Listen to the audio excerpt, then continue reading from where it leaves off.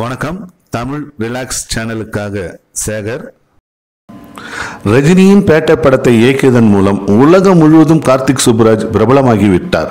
இது அனைவரும் அறிந்த உண்மை.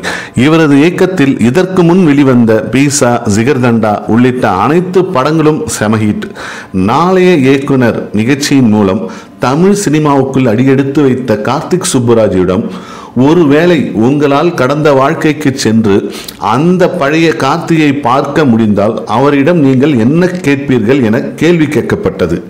அதற்கு சிறிது நேரம் யோசித்த அவர் ரொம்ப கரெக்டான முடிவு எடுத்தடா வாழ்க்கையில். வாடா உனக்கு ஒரு பீர் வாங்கி தருவேன் என்று சொல்லுவாராம்.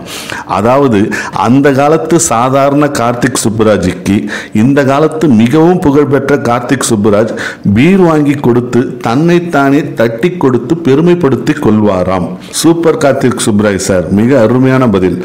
பின்ன என்னங்க இன்று திரையுலகை கலக்கிக் கொண்டிருக்கும் இயக்குனர்களில் முதன்மையான இடத்தை பேட்ட படத்தின் மூலம் பிடித்தவராயிற்றே. கண்டிப்பாக பாராட்டித்தானே ஆக வேண்டும். நன்றி வணக்கம்.